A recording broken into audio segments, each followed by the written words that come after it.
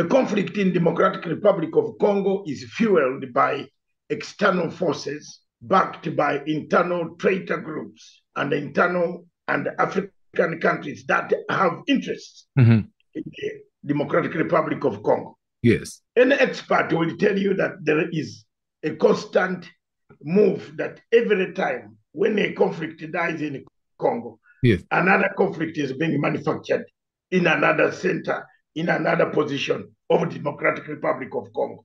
Which are the countries that have interests that are constantly fueling the conflict there? First of all, the colonial countries Yes. have interest Mhm. in Congo, Belgium, France, Mhm. the French, and then now we have the Americans who have come on board who want minerals. Then we have regional powers, powerhouses, Yes. Uganda, Rwanda.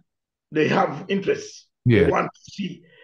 What is the interest all about? Is it about minerals? Is it about what? What exactly is it about? Majorly, the interest is minerals. Yes. The, the people, you, you know, say that Congo produces almost everything that Africa, that the world wants, from Yes. coltan, from platinum, uh, uh, from every type of uh, diamonds, uh, uh, gold, timber. Mhm. You, you don't forget that. And then timber is is one charcoal. We have a lot of charcoal going through Kismayo. Yeah. We have a lot of charcoal going through being sold. A bag of co- of co- of charcoal in, in Saudi Arabia costs between four hundred dollars to eight hundred dollars. A So- sack of charcoal. Yes, a sack of charcoal. I've done my research. So there, there is business going on there, and we are killing our forests. We are destroying our environment, and also going with the ugly sins where there is a conflict, there is a gain. Yes. Yes, the people like the French have have that notion, that character, that eh, that that, that, that motto embedded in their foreign policy. And They and come, they come to destabilize Africa Mhm. and gain out of Africa. Now, I'm looking at an engagement that went on between the president, Felix Tshisekedi, and the Rwandan president, uh, Kagame. And uh, Tshisekedi seems to be blaming Kagame uh, for what is happening on the eastern part of DRC, you know, where the M23 army is, the rebel. And that's where Kenya is going. There, there- there is a problem here. Yes. You might not know the foreign policy of the two countries, Rwanda and Uganda. Be Yes. careful. Mhm. They can quarrel, but they are friends. Who, Rwanda and Uganda? Yes. Yes. One person commands the other. Yes. And be careful. The Kenyan people must be very, very careful, extremely careful. Uh-huh. When choosing where how to go in, they could become targets. Because the, Kenyans have gone in through the eastern part to where, where, where mostly the M23 are. They've sent special forces there. Um, and, and it looks like that's where they're going to concentrate. Special forces of which nature? I think it's the Army Special Forces.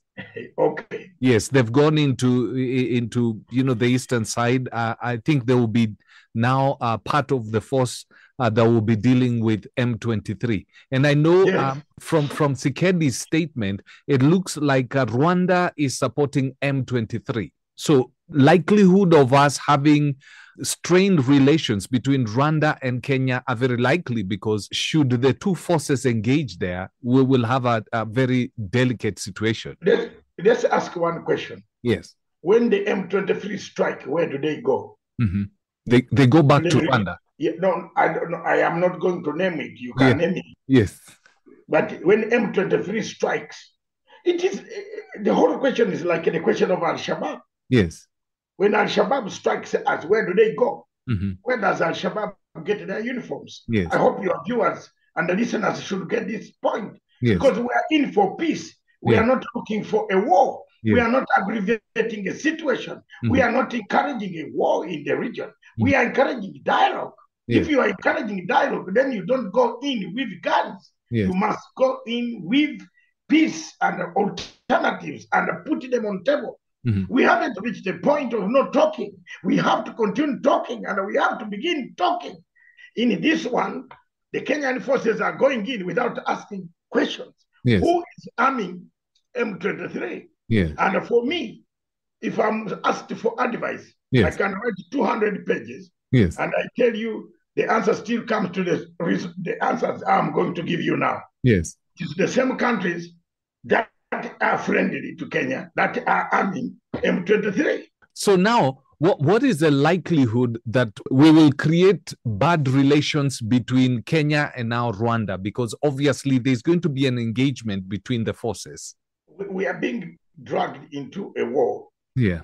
that we should have taken time to study. Kenya Mhm. should have studied the pattern Yes. of development. Yeah. In 1998 Mhm. And 2002, 2003, you remember what happened in Kisangani. Yes. I, do you remember what happened in Kisangani? But, but- remind me. Uganda and Kenya turned, uh, Uganda and Rwanda turned the guns on each other. Yes. In a foreign country. In uh, two thieves have gone on the ground to steal, Yes. then they fight in the house where they are stealing property. Yes. Didn't you hear that fight? Yes. Yes. Look, watch my lips. Yes. Watch my lips. Tanzanian troops have suffered there already. In the DRC. Yes, Mhm. in, DRC, you had Tanzanian peacekeepers were killed, very Mhm. many of them, Yes. by M23. Yes. South African troops have suffered. South African troops. We have South African troops there. Yes. You know, you have seen how many troops we have in that area. Yes. Everybody has tried to take troops there. Yes. I agree with the Kenyan troops going into DRC for question of creating infrastructure Yes. to enable Mhm. the, the area to change its attitude Yes. towards producing rebels Yes. to production that could help the region. Yes. That's acceptable. Yes. That's acceptable.